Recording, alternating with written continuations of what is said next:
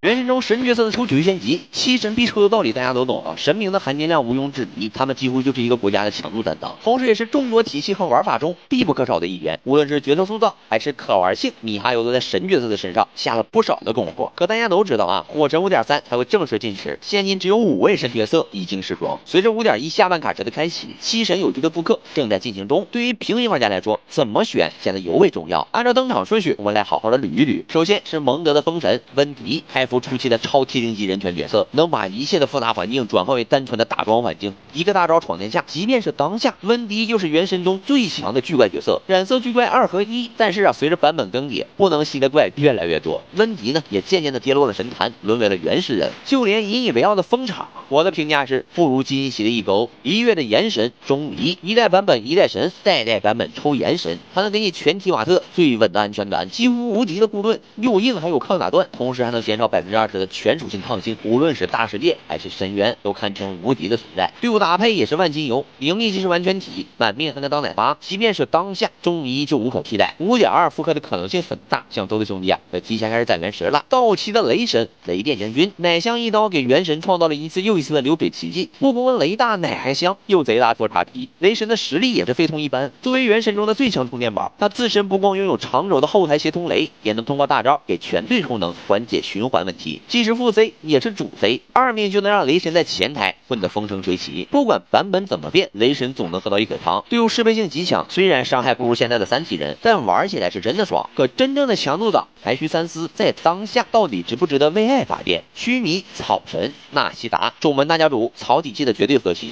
杭州后台草还是全队的精通拐，一个草型九就能打遍天下无敌手。真正的灵命必抽人权卡，平民之友啊，对他的强度无需多言。如果你想要一个成本低廉的二队，草神一定是你的不二之选。枫丹水神弗涅娜，对于他的评价就一句话：增伤大跌，想打高伤害必备。但缺点就是刚需二命，还得搭配奶妈使用，配对较为公式化。灵命仅仅在搭配纳维莱特、莱奥斯利这样自带血条变动机制的角色身上才好用。咱再来瞅一眼深渊使用率，稳坐第一，这就足以说明福福是一位泛用性极强的增伤怪，绕不开的版本答案。可强归强，但人手二加一没商量。至于纳塔火神马维卡，能力未知，大概率呢会有长招后台火以及一定的拐人能力，整不好还能给老角色上纳塔户口。定位的话，估计跟雷神也差不多，有能够改变自身攻击形态的大招，十有八九将会是纳塔的必抽人权卡。但是呢，由于没有时装，我们先不把它计入排行。给到大家的武神抽取优先级为纳西达大于弗宁娜大于钟离大于雷神大于温迪。命座推荐：纳西达零加零即可，弗宁娜二加一，钟离零加零，雷神二加一，温迪零加一。好了，那么本期视频就到这里吧，期待你的点赞和关注，我们下期再见，拜拜。